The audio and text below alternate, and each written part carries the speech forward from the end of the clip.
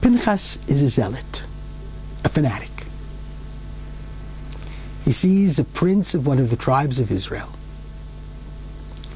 in the midst of cohabiting with a Midianite woman. And without due process, without going to a court like a Sanhedrin,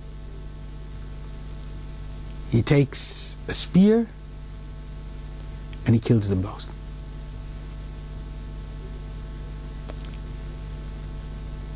God makes with Pinchas a covenant. And he calls it the covenant of peace. Isn't that strange? That God should give to Pinchas the zealot a covenant of peace, especially since peacemakers are never fanatics. Fanatics can't make peace. Fanatics always demand that their position be maintained to the full. Elijah the prophet was also a zealot. Elijah himself says, I acted zealously for you, O God, when he murdered all of the Jewish priests of the idol Baal.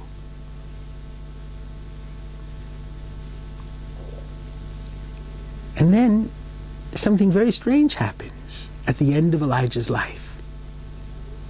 He's in Mount Horeb, and there's fire.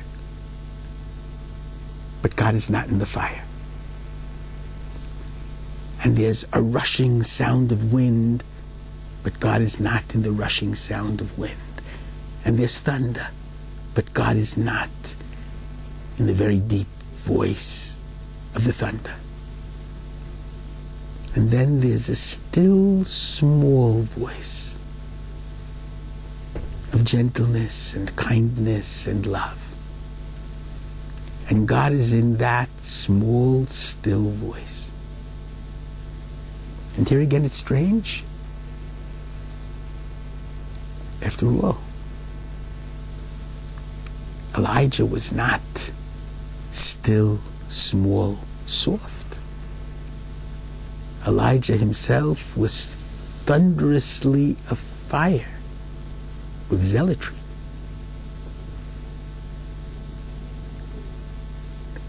A third zealot was Moses, who slays the Egyptian taskmaster. Also, no due process. And then when Moses asks God in Exodus chapter 34, tell me who you are at your essence, God says, a God of love, a God of love, before you sin and after you sin, unconditional love, a God of compassion, of long sufferingness, of loving kindness. Once again, these qualities are not the qualities of zealotry. So, why is it that God gives to the zealots a still small voice, unconditional love, a covenant of peace? And if God is giving to them these which are the antithesis of zealotry, of zealousness, why does God pick fanatics, zealots in the first place? Wouldn't he be better off choosing individuals who are more moderate to begin with? But this is exactly the point. God knows that in order to move individuals, you have to be passionate in order to make people change, in order to change the world, you have to be afire with passion. So God specifically picks the zealots who have the fire in their bellies, who are filled with. And God says to them, however, don't be passionate about war. Be passionate about peace. Be passionate about the still small voice of gentle love. Be passionate about ultimate peace.